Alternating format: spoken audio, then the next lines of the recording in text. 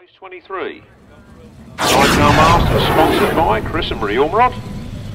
Sidecar Master sponsored by Chris and Marie Ormerod.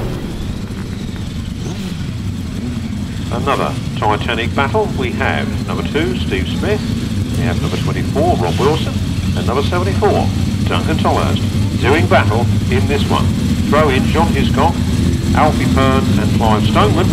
For the race in the hand.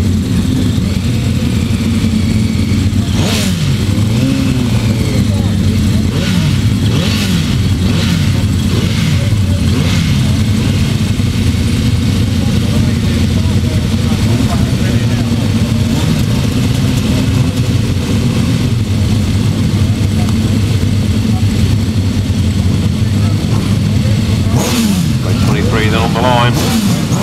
Rob Wilson, one hand on that trophy, and here they come. And another cracking start for Rob Wilson. Of Duncan Tolhurst into the first turn. Duncan Tolhurst moves up on the inside. Duncan Tolhurst takes these points off of him. It'll start to level the score a little bit with the others. Duncan Tolhurst leading into the pits turn.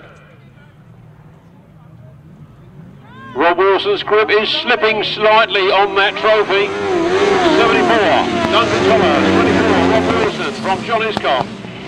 Clive Stoneman, Alfie Pern, with Steve Smith actually at the back. Did you see that?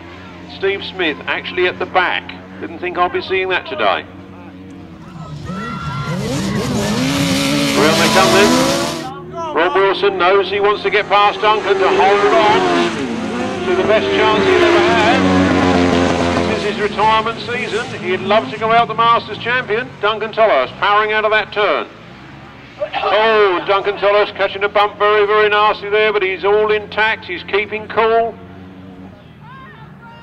Round the turn, the last lap flag. Rob Wilson puts on the pressure.